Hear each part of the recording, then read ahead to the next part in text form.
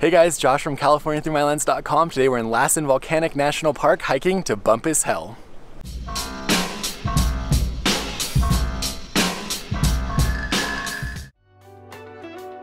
Bumpass Hell is a hydrothermal area in Lassen Volcanic National Park that's become one of the park's most popular attractions. The Bumpass Hell area is accessed via a 3 mile round trip trail with a couple hundred feet of elevation gain. While the trail is steep at the end, it is suitable for most families. Here's all the information.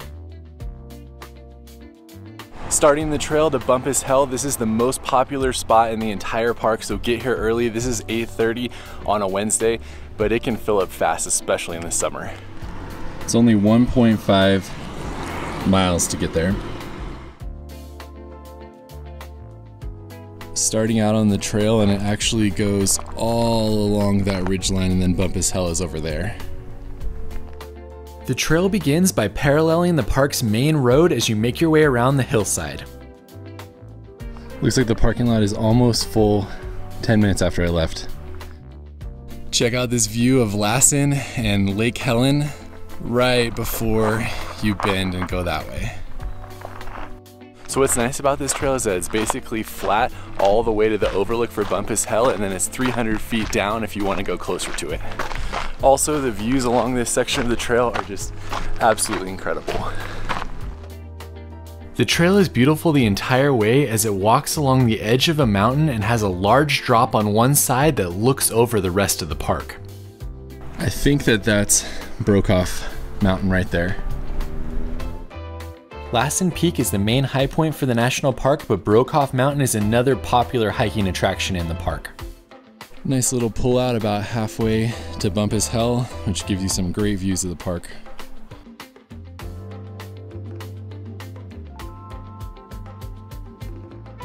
It's like the perfect day today. We got blue skies, but we got a lot of clouds, which make it good for photography and for hiking because the sun doesn't beat down on you.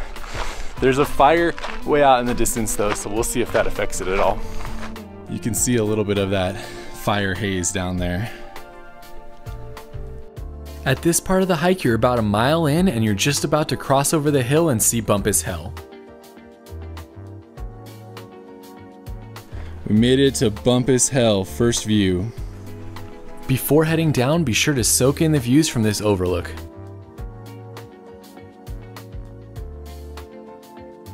We're taking the frying pan trail. There are two ways to get down to the boardwalk area, but I definitely recommend the frying pan trail as the views are better and there's another cool overlook on this part of the trail. You can see all the people down there to show how big this area is. As I was taking photos, I met Tom. He's a fellow adventure photographer. I'll leave his Instagram in the description if you want to check it out. We took our time heading down to the boardwalk area as there's so many amazing views of the colorful mud pots and the steam rising during this section of the trail. Plus this section is where one of my favorite overlooks for the Bumpass Hell area is and I took some time to do a time lapse while I was waiting up there. The Bumpass Hell area comprises over 16 acres with the main part you see on this trail only a small portion of that. Bumpass Hell was named after Kendall Bumpass, an early settler who had a mining claim in the area.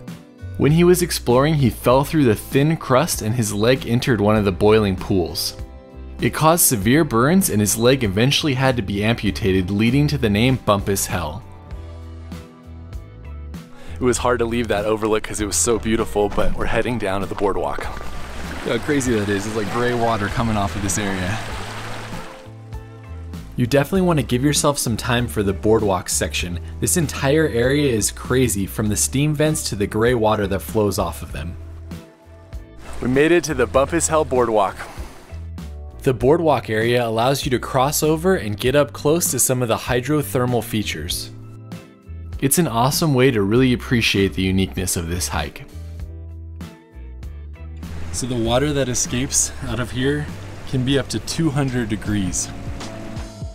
Even though I've been here many times, this is still one of my favorite short trails in the California National Park system, and you see something new every time you visit.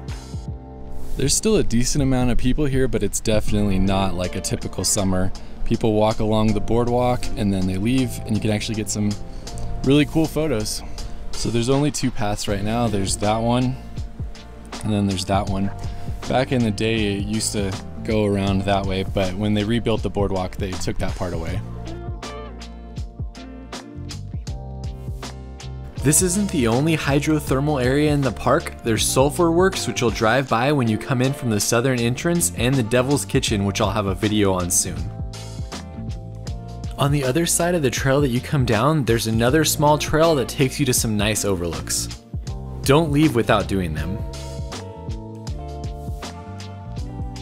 After exploring the boardwalk, definitely hike up this hill right here. This viewpoint is incredible and it's a great way to end your time on the trail. That mud pot right there is boiling so intensely that you can hear it all the way from here.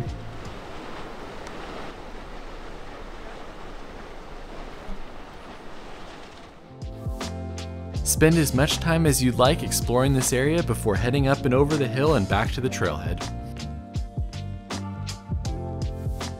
Thanks for hiking to Bumpass Hell with me. You can see all of my Lassen content in the description, and we'll see you on the next video.